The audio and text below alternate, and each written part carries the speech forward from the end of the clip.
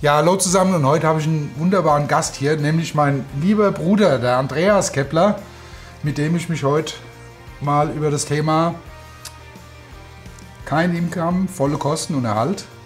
Der Andreas ist nämlich auch Musiker, auch wenn er das nicht vollberuflich macht, aber er kennt einen ganzen Haufen Leute und hat mit Sicherheit eine Sichtweise. Herzlich willkommen, Andreas.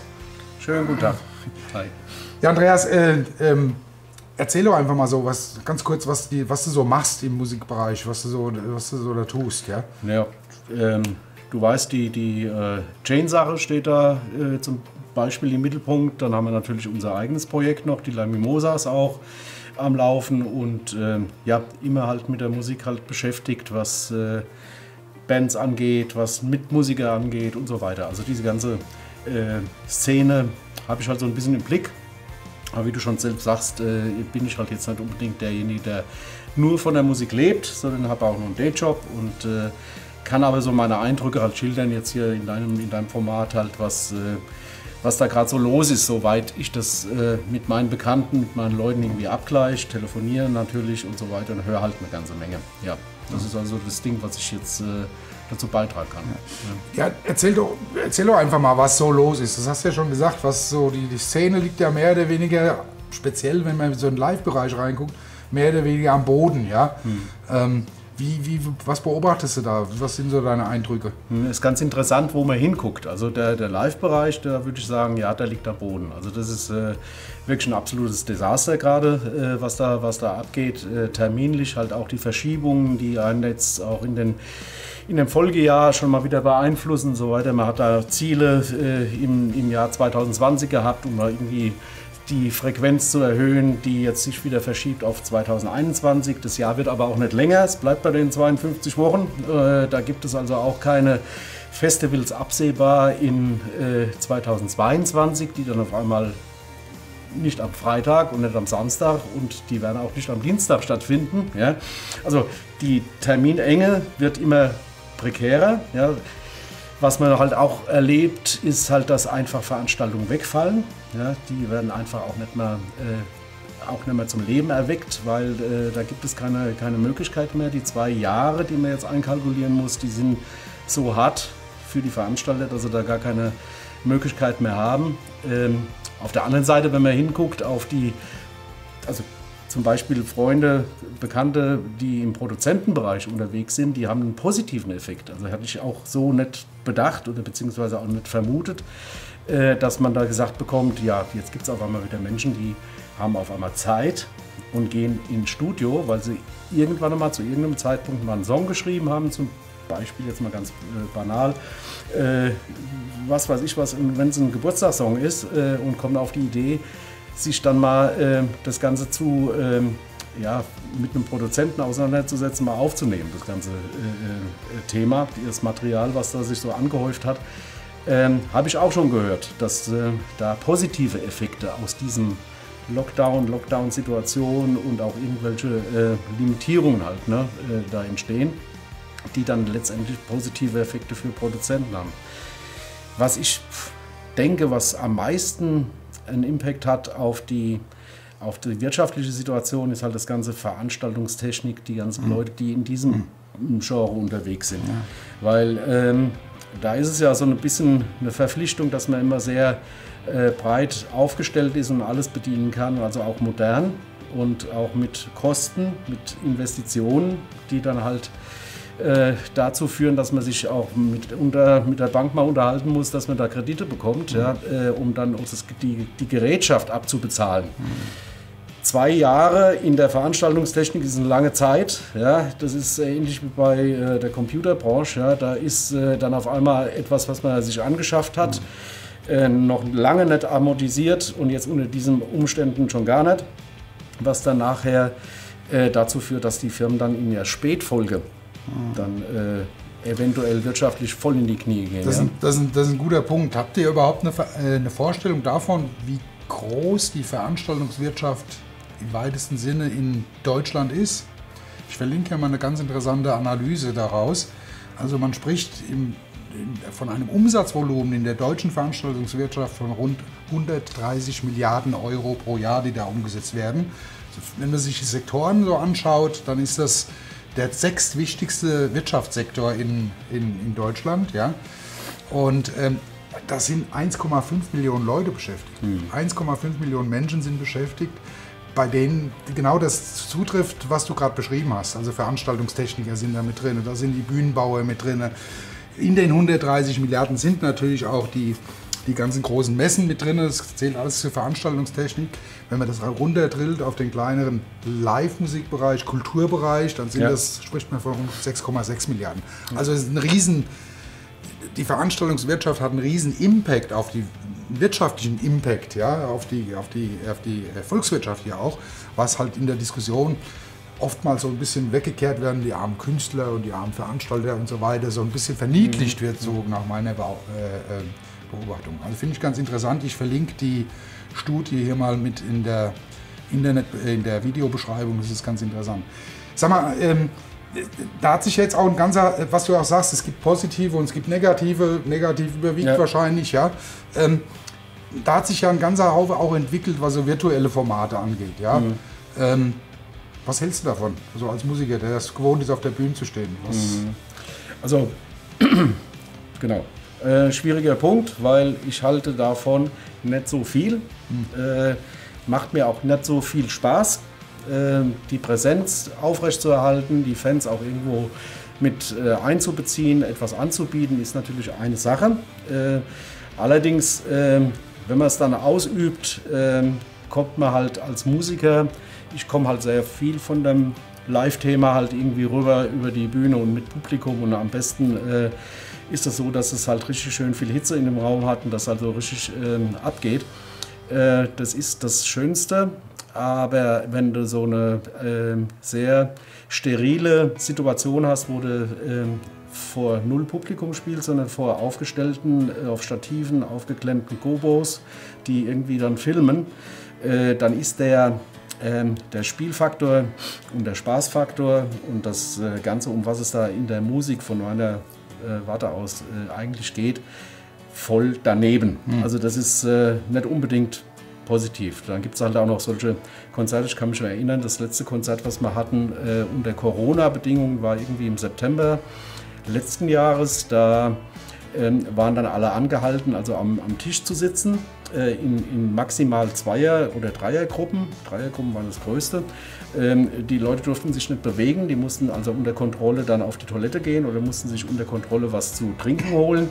Ähm, so, Entschuldigung. Wir reden jetzt hier über alles andere als ein äh, normales, gewünschtes, live atmosphärisches Event, wo Leute, die kommen, das bekommen, was sie von der Band erwarten oder was sie da erhoffen auch zu bekommen und auch so das, was die Musiker von dem mhm. Publikum und der Interaktion halt irgendwie Genau, die erwarten. Interaktion, ja. das ist genau das Schlagwort. Also, also, live lebt ja von der Interaktion genau, genau. zwischen Künstler und Publikum dann an der Ecke. Also ich hatte dann auch Anweisungen gehabt, also die Leute nicht zum Tanzen oder zu irgendeiner Bewegung aufzufordern. Ja, äh, was dann halt blieb, war halt, dass sie dann auf den Tisch geklatscht haben und das war dann äh, Tisch geklopft haben das war dann eher wie so eine Produktpräsentation bei irgendwie äh, bei, irgendeinem, bei irgendeiner Ice Cream. Ja? Mhm. Also sehr steril, schwierig äh, zu bespielen und es hat so nach dem dritten, vierten Song wurde dann die Atmosphäre auch wirklich dann mal so. Äh, es wurde real, wo du das dann wahrgenommen hast, hat dann auch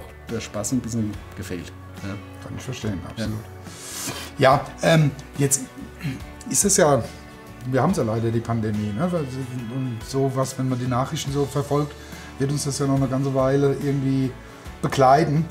Ähm, als Band, auf was muss man sich einstellen? Oder wie überlebt man als Band? Oder was macht man als Band? Mhm. Hast du da. Also die Perspektive. Die Perspektive ist, äh, wenn man es mal, die, die, die Leute, die positiv denken, sagen, die Leute sind ausgehungert und wenn das alles, wenn der Zaun fällt, dann gehen alle wieder auf die Straße. Aber da komme ich jetzt wieder zurück zu dem, was ich vorher gesagt habe. Ähm, die Woche wird nicht länger. Es bleibt bei diesen äh, zwei, drei Tagen in der Woche, wo du äh, was machen kannst. Es wird am Dienstag kein Open Air stattfinden. Das wird auch dann nicht stattfinden, wenn das alles wieder äh, aufgemacht wird. Die Leute werden auch, bin ich mal gespannt, ob die, Aushung, die diese Aushungersituation, ob die wirklich so großartig dann nachher reinwirkt auf das Ganze, dass jeder dahin rennt und die Dinge werden dann auf einmal überbucht und es muss äh, Nachfolgekonzerte geben oder sonst irgendwas. Glaube ich nicht so ganz dran. Ja? Ähm, ich glaube, es geht maximal wieder in einen normalen, bekannten Rhythmus über. Das ist maximal. Ähm, ich glaube, die negativen Einflüsse Richtung, äh, wo sind denn wirklich Veranstaltungsmöglichkeiten, wird weniger und von daher haben wir dann einen negativen Impact auf das Gesamte, ja, was die Realität sich dann äh, der Realität sich dann halt äh, stellen muss. Ja, die die, die äh, Bands, die Auftrittsmöglichkeiten. Es gab vorher schon, ohne Pandemie gab es unglaublich viel Konkurrenz und die Konkurrenz äh, wird äh, nicht weniger. Mhm. Ja. Ja. Also es ist ja auch so, das ist ja irgendwie auch so ein Teufelskreis. Also da gibt es die Venue-Betreiber, die brauchen gute Bands, damit sie das Publikum hochziehen können. Die Bands brauchen die Venues, damit sie spielen können und und also das ist ja gerade so, das, das, und das eine bedingt ja das andere. Also ich habe jetzt gerade, ähm, das wäre doch so eine Frage, es gibt ja auch so die, äh, ich glaube, das Kolossal macht das äh, mittlerweile, äh, so Hybridveranstaltungen, also mhm. wo, du, wo du eine begrenzte Anzahl von Leuten reinlässt und der Rest muss sich dann Tickets kaufen und ist dann, kriegt dann einen Link geschickt und kann sich da, mhm. da äh, online zuschalten. Das ist. Glauben wir wirklich, dass das, was wir was ich vorher oder was wir vorher besprochen haben, dass man das ablöst durch irgendein neues Format. Der, der, also der Live-Auftritt hat doch eine gewisse Ordnung, ein mhm. Ordnungsprinzip in sich, wo man Erwartungen halt irgendwie bedient, die Leute haben äh, dieses, dieses, äh, dieses Live-Event doch verinnerlicht, um was es da eigentlich geht. Mit einer Hybridveranstaltung, jetzt um bei dem Beispiel zu bleiben, was ja gar keine schlechte Möglichkeit ist, um irgendwas zu tun. Mhm. Ja. Aber ist es denn wirklich auch äh, befriedigend, den Bedarf wirklich abholend in dem, in dem Moment, wo man eine Hybridveranstaltung an, an, anbietet? Bleibt das? Ähm, ich, ich weiß es nicht. Also man hat ja der, der, die Gier und die Sucht nach dem, was man eigentlich möchte, wird dann nicht richtig bedient. Ja? Mhm. Und äh, da bin ich halt ja, ja, nicht, nicht so ganz überzeugt, ob diese 30, 70 Prozent Regel da irgendwie funktioniert oder mhm. vielleicht Hälfte, Hälfte Regel, mhm. keine, keine, Ahnung. Ähm, ein bisschen Aktivismus uns weiter zu betreiben ist dabei. Es ist Überlebensangst auch dabei mhm. ja, und es ist auch äh, Überlebenswille, äh, ja, um, um, um alte Alternativen halt zu ringen. Ähm, ob die wirklich schlagend sind, bleiben, bleiben müssen, das weiß ich nicht. Was macht man denn jetzt als Musiker? Was macht, was, was macht man denn? Also, was, hast du irgendwie eine Idee, was, wie, wie sich. Ich meine, wir, wir, gucken von der Distanz da drauf. Wir haben unseren Dayjob, ja, und haben ein gesichertes Einkommen auf der einen Seite und ja. machen das äh, ähm, ja, im semi-professionellen Bereich, so würde ich es mal äh, beschreiben. Ja. Aber was macht jetzt der Musiker, der, was ist die Perspektive für den? Was, hast du da irgendwie einen Rat oder einen Tipp oder einen Hinweis oder sowas, wie man sich auf was, was die Leute sich zukünftig einstellen müssen? Also noch härter als das, was vorher war, äh, wenn man seine, sein, sein Ziel irgendwie beschreibt. Also mhm. auch das weglassen, was nicht, nicht so richtig einem von der Seele her gut tut und wohltut, mhm. mhm. das, was man möchte. Äh, diese, diese Zielorientierung ist schon immer hart gewesen in unserem Geschäft oder in diesem Geschäft. Ähm, die wird noch härter sein. Deswegen muss man noch mehr sich entscheiden, was tut man. Also geht man in Hybridformate, geht man in diese, äh, ja, was weiß ich, YouTube-Variante, daheim etwas zu produzieren, um es dann öffentlich zu machen.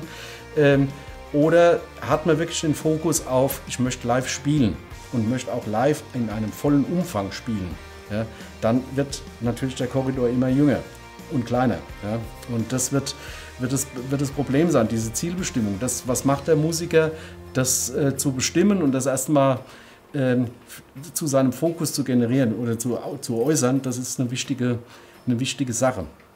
Ähm, macht natürlich insgesamt das Geschäft nicht einfacher. Mhm. Ja. Mhm.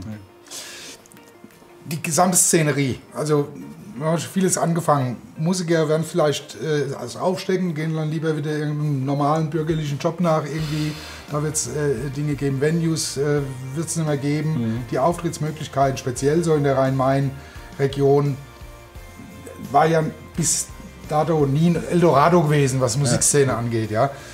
Was bedeutet das? Also wird das dann alles äh, am Ende sich nur noch auf zwei, drei wenige Veranstaltungsarten konzentrieren? Oder was meinst du? ja, kann, kann, ich mir vorstellen. Hm. Ich kann mir wirklich vorstellen, dass es äh, noch extremer wird und in einer, in einer Diaspora, wo wir die ganze Zeit schon waren, mhm. jetzt hier im Rhein-Main-Gebiet, ähm, im Vergleich zu anderen äh, ähm, Gegenden oder Städten, äh, wird das noch schlimmer werden. Mhm. Ja, kann ich mir vorstellen. Mhm. Und dann wahrscheinlich auch immer bespielt von den immer wieder gleichen Musikern, natürlich, weil es nur noch eine Handvoll gibt, die, äh, genau, genau. die sich da äh, genau. das leisten können, da zu, zu musizieren etc. Natürlich. Man kann den, den Kreis ja weiterziehen. Ja? Wo sind die Einkünfte? Das Live-Spielen haben jetzt äh, ja wieder, also die, die Millionseller, die irgendwann mal Millionseller waren, haben, mussten das Live-Spiel wieder neu entdecken, damit sie irgendeine Absätze genau. wieder, äh, Umsatz wieder generieren, um dann äh, jetzt also nochmal, äh, also es gibt ja keine Alternative dazu, ja, weil die Streaming-Plattformen werfen ja nichts ab, ja, kommt ja nichts dabei rum ja, bei, der, bei, der, bei der Sache. Ähm, so, jetzt gehen alle wieder auf die Straße, arbeiten im Prinzip von einem Gig zum anderen, machen ihre Tourneen. Ähm, das, das, das bleibt da nicht weg. Also dieser Druck, dieser innerhalb der, der, der, der Gesamtcommunity oder dieses Biotops bleibt da nicht mhm. weg. Ja, mhm. das ist, wird da eher noch schlimmer. Ja, mhm. Weil jetzt äh, alles in Unordnung geraten ist. Ja. Also mhm. weniger Möglichkeiten da, umso mehr ist halt dann auch äh, ja, der Druck da, uns dann zu bespielen. Mhm. Wann, was habt ihr auf der Agenda? Ich weiß, ihr habt ein paar Termine geplant. Wann wer ist bei euch der Plan, wann ihr das erste Mal wieder live auftreten wollt? Ja, also das wäre jetzt normalerweise wäre der erste Auftritt im, äh, in Frankfurt gewesen, jetzt hier im Bett. Da hätten wir jetzt im April äh, spielen sollen. Der ist jetzt aber vertagt auf den äh, irgendwann im Oktober. Äh, und so geht das ganze Thema halt weiter. Wir schieben uns jetzt so ein Stückchen weiter in schon in das, in das äh, dritte, vierte Quartal und sind schon auch in 2022, äh, 2022 genau mit, mit einigen Terminen. Äh, das ist das, was ich vorher gesagt habe. Es wird immer mehr und mehr halt vertagt und verschoben. Ähm, das ist erstmal das Nahziel in diesem Jahr noch so viel wie möglich halt umzusetzen damit wir eventuell in 2022 den Status, den wir in 2019 hatten, nochmal reparieren, mhm. ja, um dann halt in 2023, das sind halt die Zeitverläufe, die ich da genannt habe, um dann vielleicht sogar nochmal eine Schippe draufzulegen. Das ist mhm. aber dann wirklich dann bei Idealverlauf. Also wenn das jetzt in diesem Jahr noch äh, so weit kommt, dass wir diese Termine, die wir haben, so roundabout 13, 14, ja, mhm. vielleicht sind 20, keine Ahnung, habe jetzt noch im Kalender geguckt, wenn wir die noch realisieren könnten, ähm, ja, dann wäre das super. Wie gesagt, ich rechne nicht mit dem großen Run, dass also wenn der, wenn der Zaun fällt, dass da alles auf der Straße ist und dann also wieder äh, Live-Musik angesagt ist und jeder macht das Doppelte, was er vorher gemacht hat. Ich weiß es, glaube ich mhm. nicht. Mhm. Ich glaube, das bleibt dabei, mhm. dass man diese Trägheit im System halt einfach mit einkalkulieren muss und dann sind wir, ähm, wie gesagt, bei den, bei den äh, Jahreszahlen und bei der Abfolge. Andreas, vielen lieben Dank für das, für, das, für das Interview. Das war alles sehr aufschlussreich. Ja, für die Live-Musik sieht es schwierig aus, aber es gibt vielleicht ein paar Ansätze hier auch aus dem Gespräch, was man als Musiker so machen kann. Ähm, ja, ähm, ich kann nur Danke sagen, dass ihr euch den Video angeschaut habt. Gebt einen Kommentar, verteilt den äh, Video und äh, liked natürlich, ja, würde mich freuen und äh, bleibt uns gewogen. Bis zum nächsten Mal. Ciao. Tschüss.